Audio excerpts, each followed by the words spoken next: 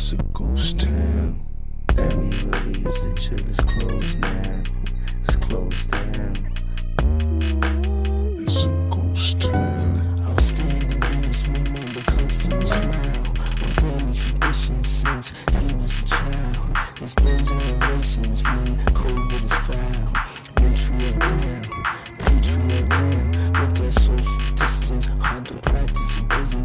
Guys, religious, ain't believing stickers. Every day with tickets.